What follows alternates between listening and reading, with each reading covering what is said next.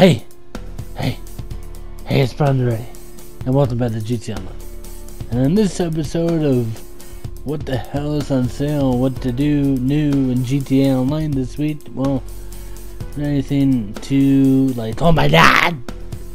But the new podium car at the casino is the Bravado Gauntlet Classic, and that is a casino DLC vehicle, which is the second time one of them have been shown up here. The first one being in the first week, the first day, being the Thrax. And it's not necessarily the best event week. I mean, it's pretty much your typical new new car, new bonuses, new discounts, so on and so forth. So if you're waiting for the survival things to come out, that ain't happening yet. But the new car, the new and most expensive car in the game, that is the new Benefactor Krieger. Coming in at $2.875 million. And I'll get back on that a little bit later on. But for bonuses this week, what's double money in RP? And that's all stunt races. So if you don't know how to get to those, go ahead and hit your options button, your start button, I guess go to online, play job, jobs, Rockstar created, and go through the different categories there. You get stunt races and all stunt races and specific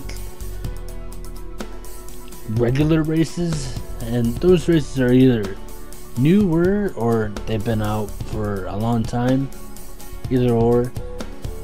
I don't know why some of them are whatever the reason. But so yeah, you racers out there, double money in RP. You know, if you got a crew, you know, together and you guys can trade off doing races, you can make a lot of RP, a lot of money.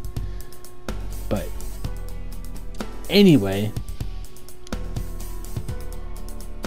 And like I said, I'm still waiting for the survival creator coming out. I believe that's what leakers have been saying it's coming, just not yet.